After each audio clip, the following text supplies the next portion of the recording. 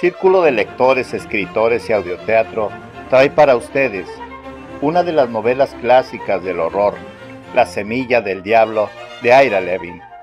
Rosemary Woodhouse y su marido, Guy, un actor poco reconocido que lucha por abrirse paso en su carrera, se mudan a un edificio de apartamentos neoyorquino, el Bramford, signado por una fama ominosa y habitado por ancianos. Roman y Minnie Castevet, vecinos de los Woodhouse, acuden a darles la bienvenida e intentan por todos los medios establecer relación con ellos. Rosemary se muestra renuente a frecuentarlos, no solo porque los considera extraños, sino también por los misteriosos ruidos procedentes de su apartamento. Guy, sin embargo, parece sentirse encantado con los Castevets. No te pierdas esta intrigante historia de lunes a sábado a las 10 de la mañana. Gracias por escucharnos. Síguenos en nuestras redes sociales.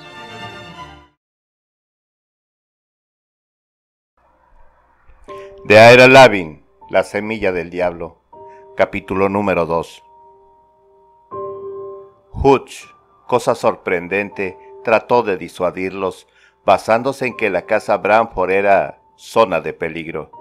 Cuando Rosemary llegó a Nueva York en junio de 1962, se fue a vivir con otra muchacha de Omaha y dos chicas de Atlanta a un apartamento de la parte baja de la avenida Lexington. Hutch vivía en el piso de al lado, y aunque se negó a ser el sustituto del padre de las chicas, ya había criado dos hijas suyas y con eso tenía bastante, gracias a Dios. Estuvo, sin embargo, siempre a mano para casos de emergencia como la noche que había alguien en la escalera de incendios y la vez en que Jane por poco muere estrangulada. Se llamaba Edward Hutchins, era inglés y tenía 54 años. Bajo tres seudónimos, escribía tres series diferentes de libros de aventuras para muchachos. A Rosemary le prestó otra clase de ayuda de emergencia. Ella era la menor de seis hermanos, los otros cinco se habían casado muy jóvenes y habían creado hogares cercanos a los de sus padres. Tras ella, en Omaha, había dejado a un padre malhumorado y suspicaz, una madre poco habladora y cuatro hermanos y hermanas resentidos. Solo el siguiente al mayor, Brian, que era aficionado a la bebida, le dijo, Vete, Rosie, y haz lo que quieras hacer, y se alargó un bolso de mano de plástico que contenía 85 dólares. En Nueva York, Rosemary se sintió culpable y egoísta, y Hutch tuvo que animarla con tazas de té cargado y charlas sobre los padres y los hijos y el deber que uno tiene para consigo mismo. Ella le hacía preguntas que no había podido hacer en la escuela superior católica y él le envió a que hiciera un curso nocturno de filosofía en la Universidad de Nueva York. Todavía haré una duquesa de esta florista arrabalera, decía. Rosemary aún tenía humor para contestarle, cuentista. Y ahora, una vez al mes, más o menos, Rosemary y Guy cenaban con Hutch, bien en su apartamento o cuando les tocaba invitar a Hutch a un restaurante. Guy encontraba a Hutch un poco aburrido, pero siempre lo trataba con cordialidad. Su esposa había sido prima de Terence Rattigan, el dramaturgo, y Rattigan y Hutch se escribían. En la vida teatral era importantísimo tener relaciones, como bien sabía Goy, aunque fueran relaciones de segunda mano. El jueves, después de que ellos vieron el piso, Rosemary y Guy cenaron con Hutch en Kubels, un pequeño restaurante alemán en la calle 33. Habían dado su nombre a la señora Cortés el martes por la tarde como una de las tres referencias que ella había pedido y él ya había recibido y contestado su carta de demanda de informes. Estuve tentado de decirles que eran adictos a las drogas y sabandijas de catre, dijo, o algo igualmente repelente a los caseros. Ellos le preguntaron por qué. Eh, no sé si ya lo sabían, dijo untando mantequilla a un panecillo, pero la casa Bramford tiene muy mala fama desde principios de siglo. Alzó la mirada Vio que no lo sabían y prosiguió. Tenía una cara ancha y reluciente, ojos azules que miraban entusiasmados y algunos mechones de cabello negro humedecido peinados a través de su cuero cabelludo. Además de Isadora Duncan y Theodore Dreiser, explicó, la casa Bramford ha albergado a gran número de personajes mucho menos atractivos. Ahí es donde las hermanas Trench realizaron sus pequeños experimentos sobre dieta y donde Kate Kennedy celebraba sus reuniones. Adrián Marcato vivió ahí también, lo mismo que Pearl Ems. ¿Quiénes eran las hermanas Trench? preguntó Guy. ¿Quién fue Adrián Marcato? inquirió Rosemary. Las hermanas Trench, inquirió Hutch, fueron dos señoras muy decentes de la época victoriana que, en ocasiones, cometieron actos de canibalismo, guisaron y se comieron a varios niños, incluyendo a una sobrina. ¡Wow! ¡Qué encanto! exclamó Guy. Hutch se volvió hacia Rosemary. Adrián Marcato practicó la brujería. Armó una buena hacia 1890 anunciando que había logrado conjurar a Satanás vivo. Mostró un puñado de cabellos y algunas raspaduras de garras y por lo visto hubo gente que le creyó, por lo menos lo suficiente para formar una muchedumbre que lo atacó y lo dejó casi muerto en el vestíbulo de la casa Bramford. Bromeas, dijo Rosemary. Hablo en serio. Pocos años después comenzó el asunto de Kate Kennedy y hacia los años 20 la casa estaba medio vacía. Guy manifestó, yo ya estaba enterado de lo de Kate Kennedy y del caso de Pearl Ames, pero no sabía que Adrián Marcato hubiera vivido allí. Y esas hermanas, añadió Rosemary estremeciéndose.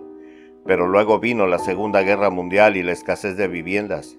Continuó Hutch, y la casa se vio llena de nuevo, y hasta ahora ha adquirido un poco de prestigio como casa antigua de pisos grandes, pero en los años 20 la llamaban la Casa Negra Bramford, y la gente sensible se mantenía apartada de ella.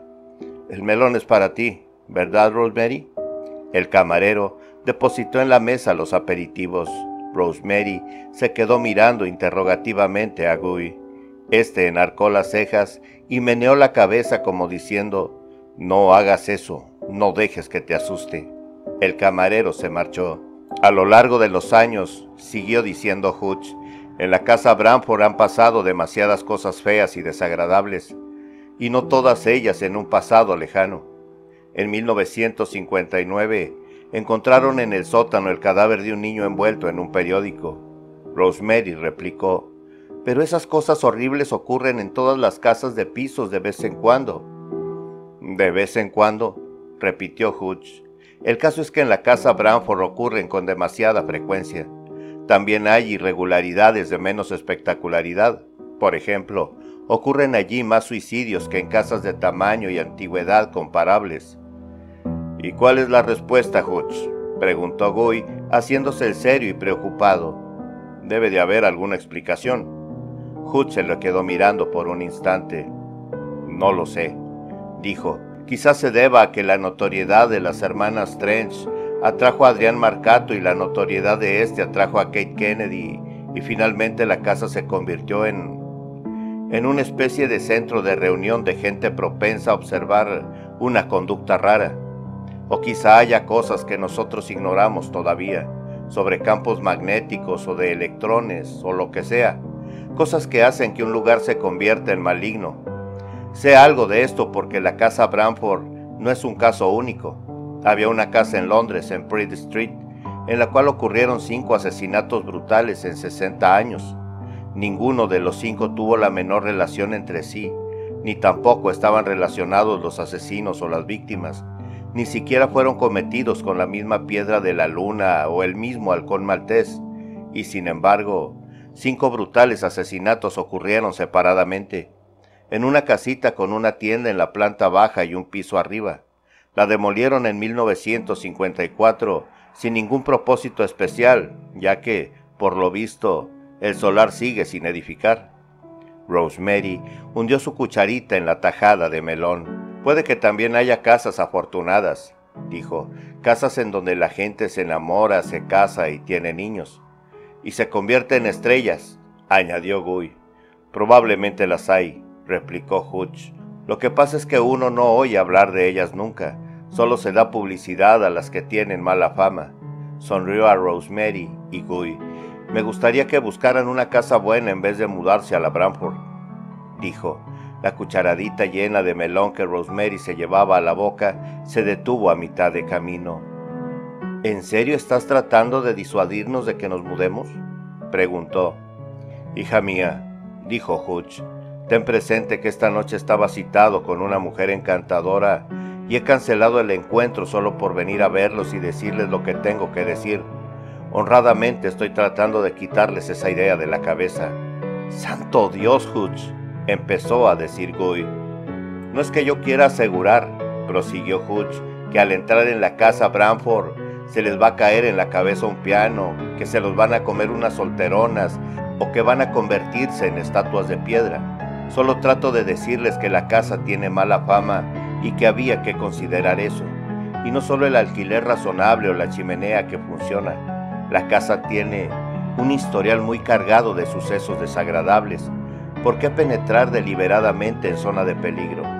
¿Por qué no van al edificio Dakota o a los Borne si se les ha metido en la cabeza vivir en medio del esplendor del siglo XIX?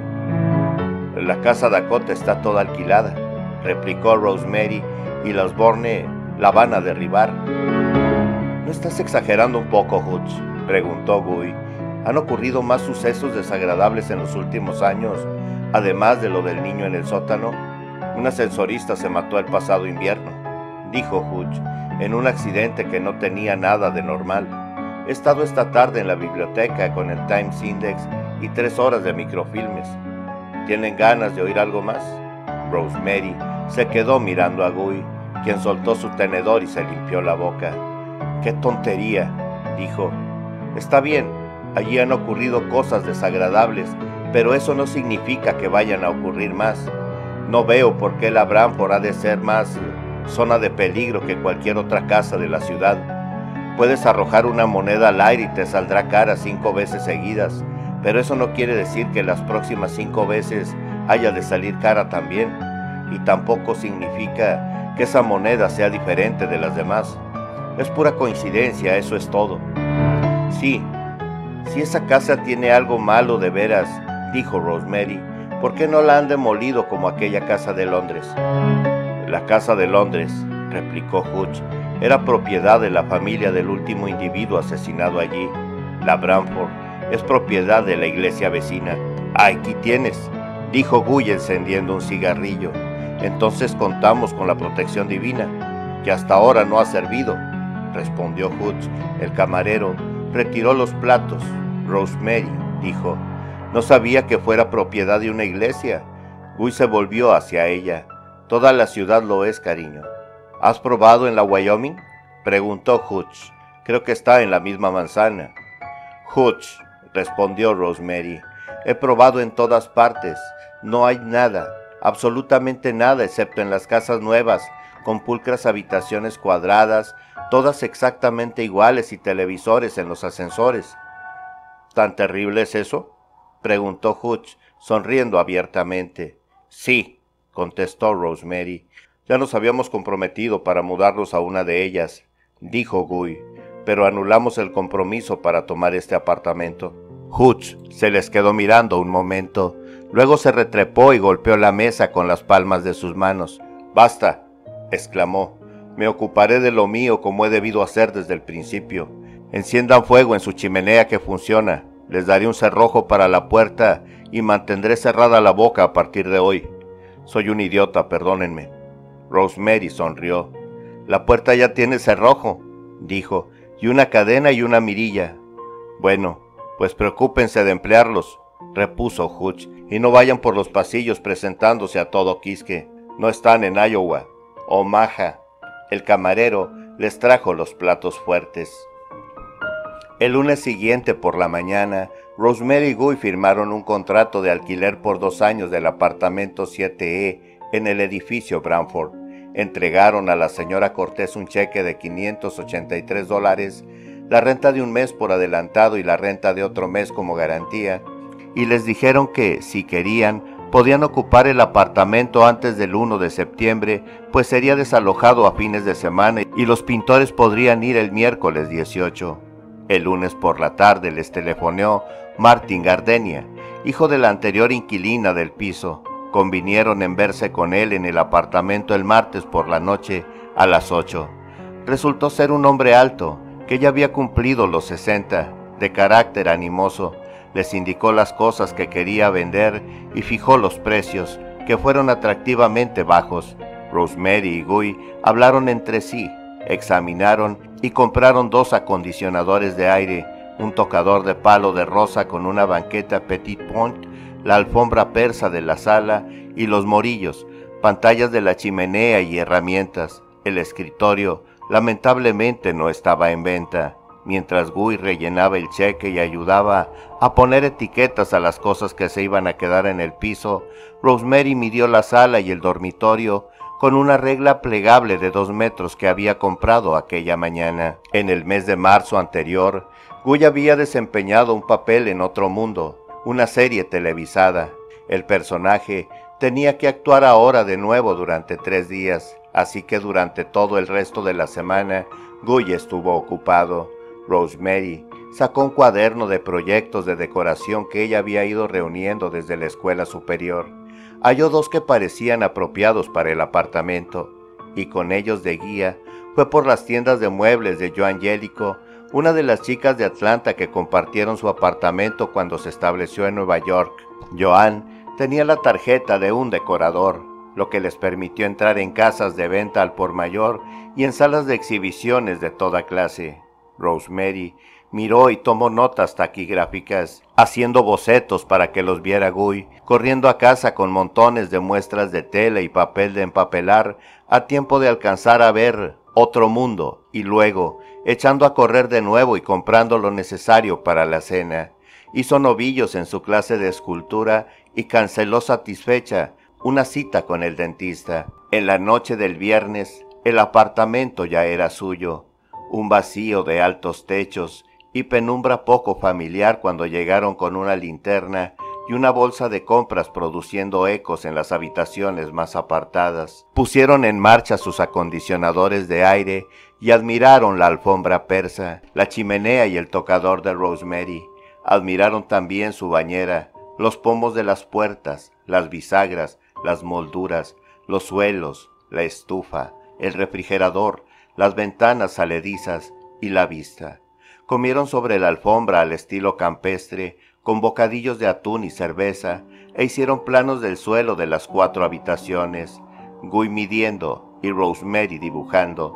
De nuevo en la alfombra apagaron la linterna, se desnudaron y se hicieron el amor bajo el resplandor nocturno de ventanas sin persianas. sisió luego Guy, con los ojos abiertos por el temor. Masticar a las hermanas Trench Rosemary le dio un fuerte coscorrón. Compraron un sofá y una cama matrimonial, una mesa para la cocina y dos sillas redondeadas. Llamaron a la compañía telefónica y a los almacenes e hicieron venir obreros, así como al camión de la mudanza. Los pintores vinieron el miércoles 18, picaron, remendaron, dieron la primera mano, pintaron y se fueron el viernes 20 dejando colores muy parecidos a las muestras de Rosemary. Vino un empapelador solitario y refunfuñó y empapeló el dormitorio. Llamaron a los almacenes y a la madre de Guy en Montreal. Compraron un aparador y una mesa de comedor, así como nueva plata y vajilla. Estaban contentísimos. En 1964, Guy había hecho una serie de anuncios televisados para Anasin, ganó con ellos 18 mil dólares y todavía le producían ingresos. Pusieron cortinas y colgaron estantes empapelados, contemplaron la alfombra en el dormitorio y la de vinilo blanco en el pasillo. Consiguieron un teléfono desconectable con tres enchufes, pagaron facturas y enviaron una nota a correos avisando que habían cambiado de domicilio. El viernes 27 de agosto se mudaron. Joan y Dick Jellico les enviaron una gran maceta con una planta y el agente de Guy otra pequeña. Hutch les mandó un telegrama. La Branford cambiará de mala casa a buena casa cuando una de sus puertas tenga el letrero Rose y Guy Woodhouse.